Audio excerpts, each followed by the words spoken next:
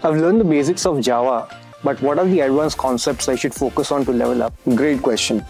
To become a Java expert, you need to dive into some of the key advanced topics. Multi-threading? That sounds complex. What's that about? Multi-threading is crucial for performance optimization. It allows Java to run multiple threads concurrently, which makes your application faster and more efficient.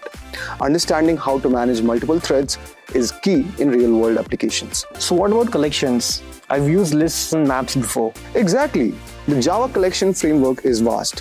From list to set and map, each collection type has its own strength. Knowing how and when to use them efficiently is an advanced concept every Java developer must master. I've heard a lot about Lambda expressions. Why are they so important? Lambdas make Java more expressive and concise. They allow you to write shorter code by enabling functional programming techniques. Streams are another thing I've been hearing about. What do they do? Streams provide more powerful way to process sequences of data. You can filter, map, and reduce collections in much cleaner and more readable way. Reflection in Java sounds a bit tricky. What's its use? If I talk about reflections, they allow Java to inspect and modify its own code at runtime. It's powerful, but be careful. Misusing it can lead to performance issues and security risks. Design patterns.